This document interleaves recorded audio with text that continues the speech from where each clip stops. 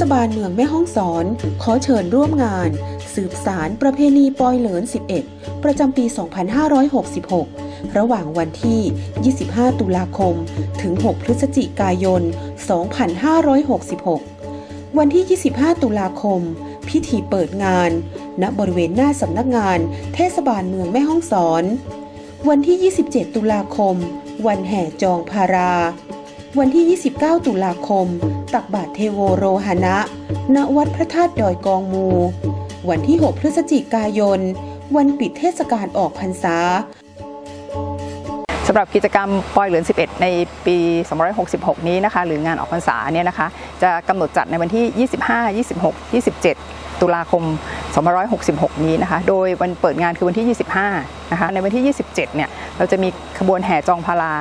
ซึ่งเป็นขบวนที่เป็นกิจกรรมหรือเป็นศิลปะวัฒนธรรมที่แสดงถึงความโดดเด่นความแตกต่าง ซึ่งไม่มีที่ไหนในโลกนี้นะคะมีที่นี่ที่เดียวนะคะ เป็นการเฉลิมฉลองในเรื่องของพระพุทธเจ้า